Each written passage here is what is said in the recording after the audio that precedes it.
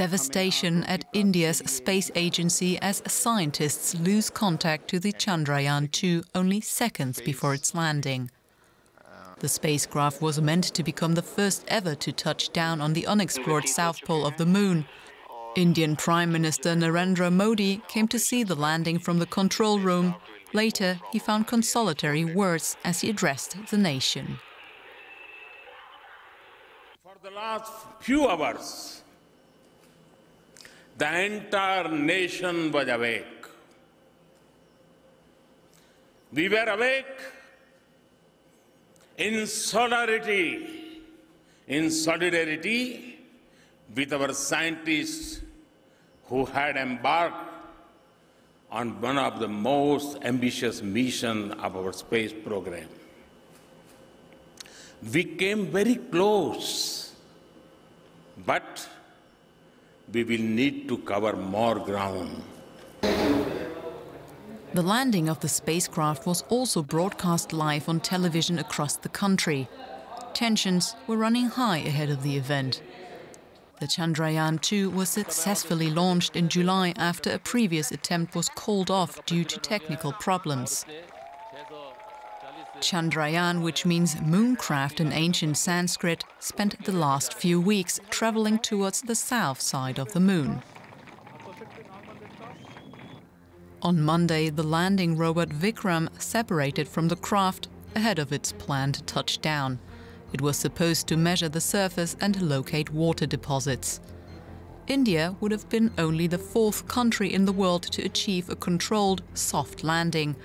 Its previous mission in 2008 ended with the spacecraft probe intentionally crashing into the moon.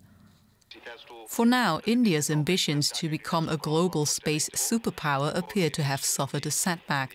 But scientists hope to get the communication to the spacecraft back up and find out what happened. And we're joined now by DW's Delhi correspondent Nimisha Jaiswal. Nimisha, the, the loss of contact doesn't mean the mission has failed, does it? Do we have any more information? Well, that's right, Anya. The loss of contact is with the lander and the rover.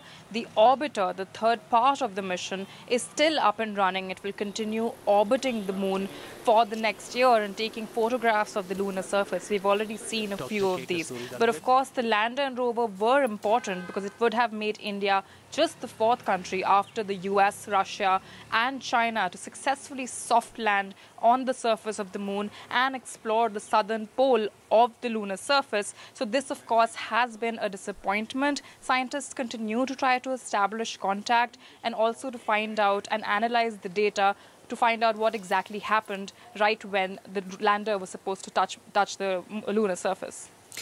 As you said, India was set to become only the fourth country in history to land on the moon. Just how significant would it be if this mission indeed turns out to have failed, also from an, an emotional point of view for, for India?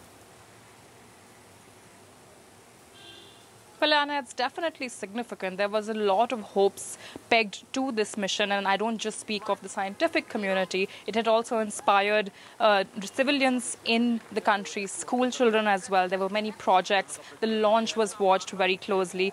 But after the, the ISRO, the space organization, lost contact with the lander, there was also an outpouring of support, not just by the Prime Minister, but by many other people on social media as well. India was, of course, trying to establish itself as an important player in the space race, but critics of the current government have also said that this was simply another way to distract from larger problems that India is facing with a struggling economy, falling GDP numbers, job losses, and of course the conflict in Kashmir, the tense situation in Kashmir. So focus will be brought back to these aspects now that focus will shift from the moon mission. Now, if this does work out, what will happen next? Because Narendra Modi certainly has some ambitious plans, doesn't he? That's right, Anya. If this mission is a failure or if it works out, it will not dampen India's space ambitions in any way. ISRO, the space organization, was originally mandated to make meteorological predictions to help agriculture out, which it has done, but now it wants to take the next big step forward. There's already been a successful Mars mission, there's been a successful moon mission in the past, and India and the Prime Minister are hoping to put a man on the moon by 2022. Missions are also planned to Venus as well as the Sun. So ISRO will continue striving on, and it seems to have the full support of the government from the looks of it, from the response it has had from the government today. All right, Nimisha Jaiswal reporting from Delhi. Thanks so much.